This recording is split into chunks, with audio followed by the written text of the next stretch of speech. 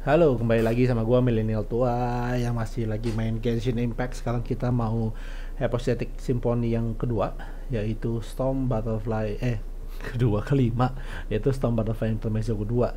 Uh, ini kayak sama kayak kemarin sih harusnya jadi kita ngulang lagi lawan si Animo Hypostasis ya. Sekarang gua, gua jadi penasaran sih sebenarnya sekarang kalau kita sekarang lawan Animo Hypostasis berarti nanti besok kan berarti lawan yang Geo dong ya? Nah hari terakhir kita lawan apaan? Oh ini dibalik kalau kita sekarat justru tidak kayak gede. Oke gue bawa nggak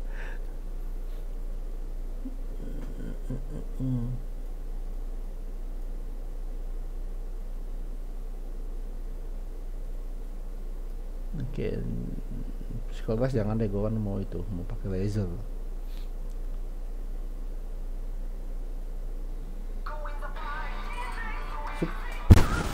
Sorry alarm. Ada gini dulu deh. Berarti yang gue pakai Razer uh, uh, uh, uh, kayaknya tetap perlu ada cici ya. Cuma buat itu nih buat mental reaction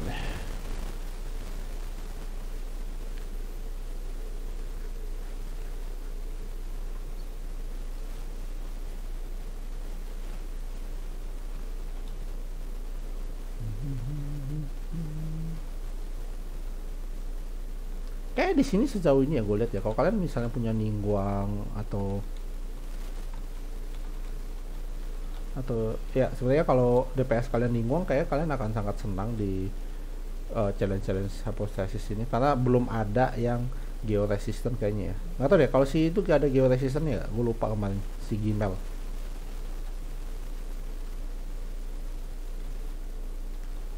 Gimel kayaknya ada geo resistant ya tapi kayak eh ya, kecuali kalian lawan Gmail aja sih. Maksudnya kalau Gmail kan emang dia nggak perlu geo resisten dia emang geo emang nggak nggak mempan dia papain kalau sama geo.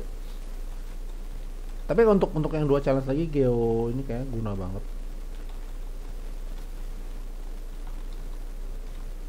Ada salah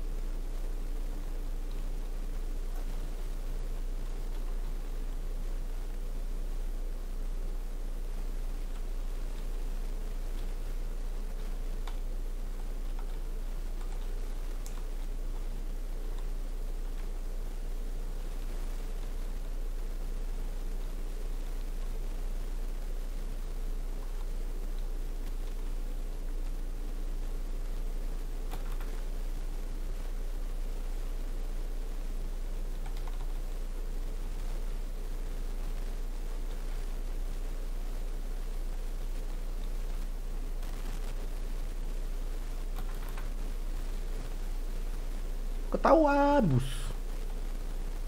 Eh salah. Aduh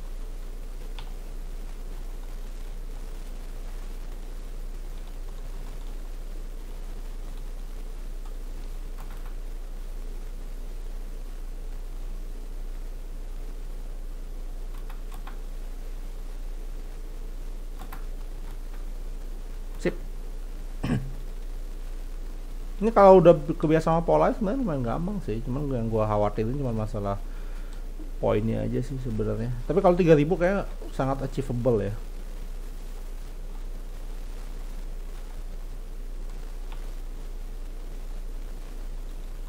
Ya 3000 tuh achievable sebenarnya. Nggak perlu terlalu lebih tinggi lagi sih kalau menurut gua. Karena kan dapat hadiahnya itu kalau kita dapat sekitar 2.800 2.900 per lan uh, tot untuk total sekitar 20.000 ya. Jadi ya nggak usah terlalu kalau misalnya kalian bukan yang uh, karakternya bukan yang buff up banget gitu yang constellation berapa atau buildnya yang harus gini gitu segala macam menurut gua he, cukup happy lah dengan 3000 poin ya. Nggak usah harus ngebreak 4000 kalau 4000 itu untuk untuk personal achievement. Oke segitu aja dari gua uh, milenial tua yang suka main game. Jadi semoga kalian menikmati event ini. Semoga bisa dapat semua hadiahnya. Ciao